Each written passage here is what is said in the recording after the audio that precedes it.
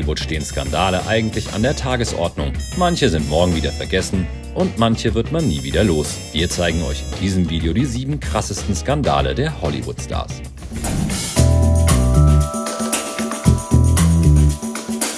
Bevor Robert Downey Jr. zu Iron Man wurde, schrieb er ein düsteres Kapitel in seiner Hollywood-Karriere. Nach seinen ersten Schauspielerfolgen rutschte er in den 90ern im Drogensumpf ab und bekam immer wieder Probleme mit dem Gesetz. Unter anderem wurde er zu drei Jahren Gefängnis verurteilt, landete mehrmals in einer Entzugsklinik und verlor dadurch unter anderem seine Rolle in der Hitserie Ally McBeal. Nachdem er endgültig clean wurde, kam seine Karriere Anfang der 2000er wieder langsam in die Gänge. Mit Iron Man wurde er 2008 dann zum Weltstar und später sogar zum bestbezahlten Schauspieler der Welt.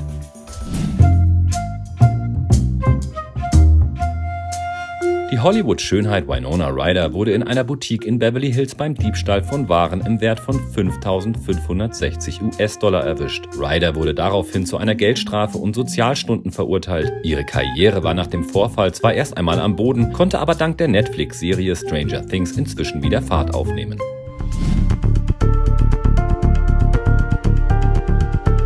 Mad Max wird zu Mad Mel. 2006 wurde der Hollywood-Star wegen Trunkenheit am Steuer festgenommen. Er verschlimmerte die Situation nur noch, nachdem er die Polizeibeamten auf rassistische und sexistische Weise beschimpfte. Für die Aktion bekam er drei Jahre auf Bewährung aufgebrummt und musste ein Jahr die Treffen der anonymen Alkoholiker besuchen. Seine antisemitischen Hasstiraden machten ihn in Hollywood für eine lange Zeit zur Persona non grata. Später wurde er aber komischerweise wieder mit offenen Armen empfangen und sogar für den Oscar nominiert.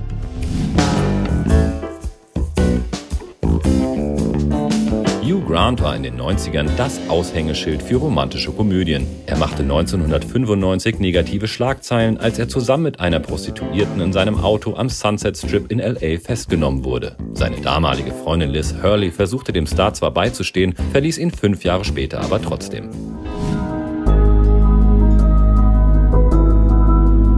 Mit der Bill Cosby Show wurde der gleichnamige Entertainer so etwas wie America's Dad. Anfang der 2000er wurden jedoch erstmals Vorwürfe wegen sexueller Übergriffe gegen ihn angezeigt. Erst 2017, nachdem sich bis zu 57 Frauen mit ähnlichen Fällen meldeten, wurde Cosby vor Gericht gestellt. 2018 wurde er für seine Taten zu einer Gefängnisstrafe von drei bis zehn Jahren verurteilt.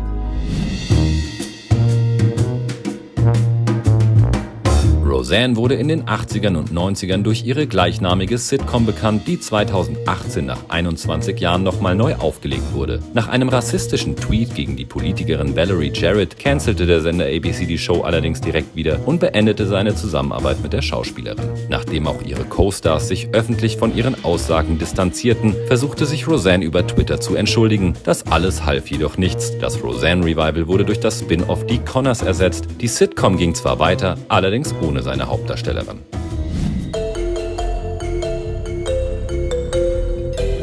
Im Zuge der MeToo-Bewegung, die durch den Harvey Weinstein-Skandal ausgelöst wurde, erzählte der Schauspieler Anthony Rapp, dass er als 14-Jähriger von Kevin Spacey sexuell belästigt wurde. Im Anschluss gingen acht weitere Männer mit ähnlichen Vorwürfen gegen den Oscar-Preisträger an die Öffentlichkeit. Netflix beendete daraufhin die Zusammenarbeit mit ihm an der erfolgreichen Serie House of Cards und drehte die letzte Staffel ohne ihn. Regisseur Ridley Scott schnitt Spacey zudem aus dem bereits abgedrehten Film Alles Geld der Welt wieder raus und drehte seine Szenen mit Christopher Plummer neu.